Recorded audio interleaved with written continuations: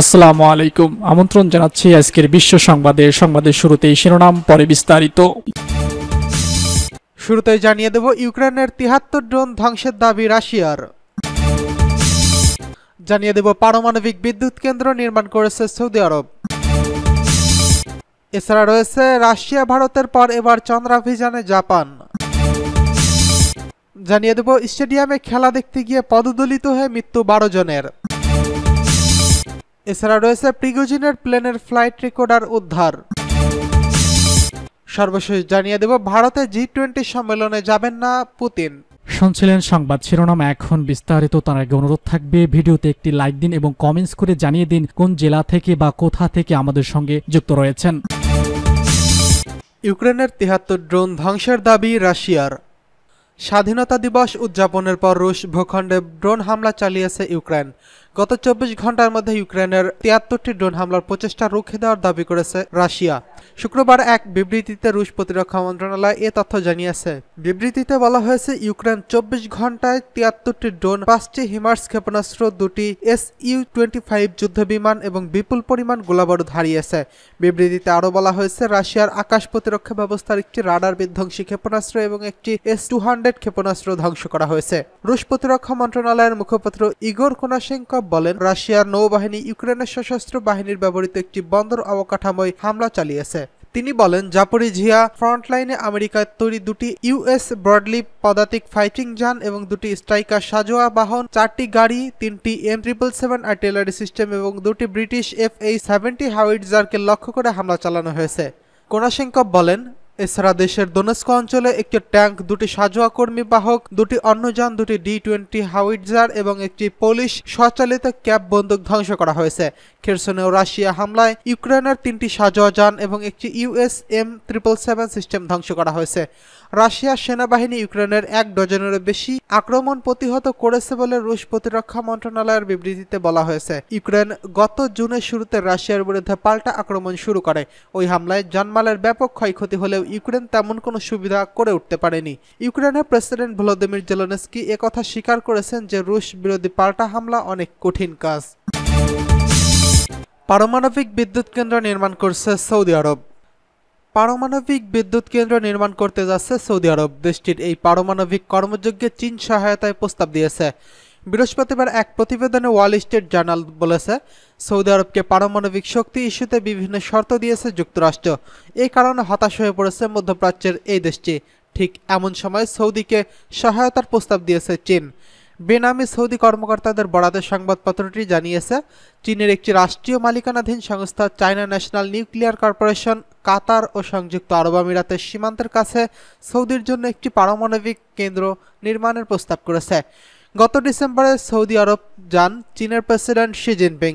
এই দুই দেশ জুন মাসে রিয়াদে দুদিনের আরব চীন ব্যবসায়িক সম্মেলনের সময় দশ বিলিয়ন ডলারের বিনিয়োগ চুক্তির ঘোষণা করেছিল। এদিকে রাশিয়া ভারতের পর এবার চন্দ্রাভিযানে জাপান। রাশিয়া ও ভারতের পর এবার চাঁদে মিশন শুরু করতে যাচ্ছে জাপান। মুন স্নাইপার নামে এইচ টু রকেটটি রোববার সকালে দক্ষিণ জাপানের তানেগাসীমা স্পেস সেন্টার থেকে উড্ডয়নের কথা ছিল। শুক্রবার জাপানে অ্যারোস্পেস এক্সপ্লোরেশন এজেন্সি জানিয়েছে, খারাপ আবহাওয়ার কারণে এটিকে একদিন পিছিয়ে সোমবার উৎক্ষেপণ করা হবে। রকেটটির একটি ল্যান্ডার বহন করবে যা চার থেকে ছয় মাসের মধ্যে চাঁদের পৃষ্ঠে পৌঁছবে বলে আশা করা হচ্ছে। এছাড়া থাকতে হবে একটি এক্স রে ইমেজিং স্যাটেলাইট যা মহাবিশ্বের বিবর্তন সম্পর্কে ধারণা দেবে। এটি একটি উন্নত ইমেজিং স্যাটেলাইট ও একটি লাইট ওয়েট ল্যান্ডার বহন করবে। আশা করা হচ্ছে আগামী জানুয়ারি বা ফেব্রুয়ারিতে মহাকাশ যানটি চাঁদে নামবে। জাপানের মহাকাশ সংস্থাটির জন্য এই মিশনটি অত্যন্ত গুরুত্বপূর্ণ, কারণ এরই মধ্যে বেশ কিছু ব্যর্থতার পর ইমেজ সংকটে পড়েছে সংস্থাটি। গত বছর কয়েকটি অভিযানে ব্যর্থ হয় তারা। স্টেডিয়ামে খেলা দেখতে গিয়ে পদদলিত হয়ে বারো জনের মৃত্যু। ইন্ডিয়ান ওশান আইল্যান্ড গেমসের উদ্বোধনী অনুষ্ঠানের জন্য মাদাগাস্কারের জাতীয় স্টেডিয়ামে প্রবেশের সময় পদদলিত হয়ে কমপক্ষে বারো জন নিহত এবং আশি জন আহত হয়েছেন। শুক্রবার দেশটির রাজধানী আন্তানা নারিভয় জাতীয় স্টেডিয়ামে এই মর্মান্তিক ঘটনা ঘটে। খবর রয়টার্স ও আল জাজিরার। কর্তৃপক্ষ জানায়, ইন্ডিয়ান ওশান আইল্যান্ড গেমসের উদ্বোধনী আয়োজন দেখতে বাড়িয়া স্টেডিয়ামে প্রায় পঞ্চাশ হাজার দর্শক এসেছিলেন, যা ধারণ ক্ষমতার বাইরে। রেড ক্রস কর্মকর্তারা জানান, স্টেডিয়ামের প্রবেশপথে ছিল অতিরিক্ত ভিড়। তৈরি হয় চরম বিশৃঙ্খলা ও অরাজকতা। হুড়োহুড়িতে পায়ের নিচে চাপা পড়ে অনেকেই। সেই সময় উপস্থিত ছিলেন দেশটির প্রেসিডেন্ট অ্যান্ডি রোজেনিলাও। ট্রাজিক ঘটনা আখ্যা দিয়ে এক মিনিট নীরবতা পালন করা হয়। উদ্বোধনী অনুষ্ঠানে উপস্থিত থাকা মাদাগাস্কারের প্রধানমন্ত্রী ক্রিশ্চিয়ান অ্যান্টোসে আন্তা নানারিভোর একটি হাসপাতালে সাংবাদিকদের বলেন, এই দুর্ঘটনা এখন পর্যন্ত বারো জন মারা গেছে এবং প্রায় আশি জন আহত হয়েছেন। ইন্ডিয়ান ওশান আইসল্যান্ড গেমস হলো একটি মাল্টি ডিসিপ্লিনারি প্রতিযোগিতা যা মাগাদাস্কারের তেসরা সেপ্টেম্বর পর্যন্ত অনুষ্ঠিত হবে। উনিশশো সাতাত্তর সালে শুরু হওয়া ওশেন আইসল্যান্ড গেমস অনুষ্ঠিত হয় প্রতি চার বছর পর পর। এর আগে দু হাজার উনিশ সালে দেশটির মহামানিসা স্টেডিয়ামে একই ধরনের ঘটনায় কমপক্ষে পনেরো জন নিহত হয়েছিলেন।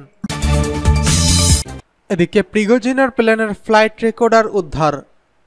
ওয়াগনার গ্রুপের প্রধান ইয়েবজেনি প্রিগোজিন ছিলেন বলে ধারণা করা বিধ্বস্ত বিমানটির দশ আরোহীর মৃতদেহ ও ফ্লাইট রেকর্ডার দুটি উদ্ধার করা হয়েছে বলে জানিয়েছে রাশিয়া। শনিবার তদন্তকারীরা জানিয়েছে, মৃতদেহগুলো শনাক্ত করে জেনেটিক পরীক্ষা করা হচ্ছে। বুধবার মস্কোর উত্তরে বিমানটি বিধ্বস্ত হয়। বিমানটি বোমা ও ক্ষেপণাস্ত্রের আঘাতে বিধ্বস্ত হয়েছে এমন জল্পনা কল্পনা ডালপালা মেলেছে। কিন্তু ক্রেমলিন প্রিগোজিনকে হত্যা নির্দেশ দিয়েছিল এমন দাবি পুরোপুরি মিথ্যা বলে বিবিসিকে জানিয়েছে রাশিয়ার প্রেসিডেন্ট ভ্লাদিমির পুতিনের মুখপাত্র দিমিত্রি পেশকপ শুক্রবার এক সংবাদ সম্মেলনে ক্রেমলিনের মুখপাত্র পেশকপ বলেন, বুধবার তিভিয়ে অঞ্চলে বিমান বিধ্বস্ত হয় দশ আরোহীর সবার শোচনীয় মৃত্যু নিয়ে নানা অনুমান ছড়িয়েছে তিনি বলেন, আর পশ্চিমাদের ক্ষেত্রে এই সমস্ত জল্পনা অবশ্যই একটি নির্দিষ্ট দৃষ্টিকোণ থেকে হচ্ছে। এগুলো সবই পুরোপুরি মিথ্যা। আমরা যখন এই বিষয়ে কথা বলছি, তখন অবশ্যই আমাদের প্রকৃত ঘটনাটাই বলা উচিত। তিনি আরও বলেন, আসলে কি ঘটেছে সে সম্পর্কে বেশি কিছু জানি না। সরকারি তদন্তের মধ্য দিয়ে প্রকৃত ঘটনাটি স্পষ্ট করে জানা দরকার, যেটি এখন চলছে।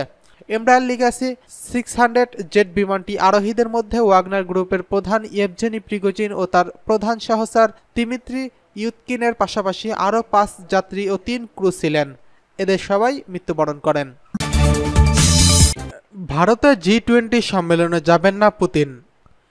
আগামী সেপ্টেম্বরে ভারতের দিল্লিতে অনুষ্ঠেয় জি টোয়েন্টি সম্মেলনে যোগ দেবেন না রাশিয়ার প্রেসিডেন্ট ভ্লাদিমির পুতিন। রুশ প্রেসিডেন্টের মুখপাত্র দিমিত্রি পেসকভ সংবাদ মাধ্যমকে এ কথা জানিয়েছে। আগামী নয় ও দশই সেপ্টেম্বর দিল্লিতে অনুষ্ঠিত হবে বিশ্বের সবচেয়ে বড় অর্থনৈতিক শক্তিগুলোর সংগঠন জি টোয়েন্টি এর শীর্ষ সম্মেলন। সংবাদ সম্মেলনে পুতিনের যোগ না দেওয়ার কারণ ব্যাখ্যা করে ক্রেমলিনের মুখপাত্র দিমিত্রি পেসকভ বলেন, ওই সময় জরুরি সামরিক সক্রিয়তার কারণে প্রেসিডেন্ট পুতিন শারীরিকভাবে জি টোয়েন্টি শীর্ষ সম্মেলনে হাজির থাকতে পারবেন না। কূটনৈতিক মহলের একাংশের মতে সশরীরে হাজির না হলেও ভিডিও কনফারেন্সিং এর মাধ্যমে জি টোয়েন্টি শীর্ষ বৈঠকে বক্তৃতা প্রদান করতে পারেন রুশ প্রেসিডেন্ট। প্রসঙ্গত, চলতি সপ্তাহে দক্ষিণ আফ্রিকার জোহাসেনবার্গে, ব্রিক্স, ব্রাজিল, রাশিয়া, ভারত, চীন ও দক্ষিণ আফ্রিকার শীর্ষ সম্মেলনেও যোগ দেননি পুতিন। গত বছর চব্বিশে ফেব্রুয়ারি ইউক্রেনে বিশেষ সামরিক অভিযান শুরু করে রাশিয়া। এরপর থেকে আগের সোভিয়েত ইউনিয়নের সীমান্ত রেখায় কোথাও যাননি পুতিন। গত বছরের নভেম্বরে ইন্দোনেশিয়ার বলিতে আয়োজিত জি টোয়েন্টি সম্মেলনে যাওয়ার পরিকল্পনাও বাতিল করেছিলেন তিনি। শেষবার দু হাজার উনিশ সালে জাপানের ওয়াসাকায় জি টোয়েন্টি শীর্ষ বৈঠকে যোগ দিয়েছিলেন পুতিন।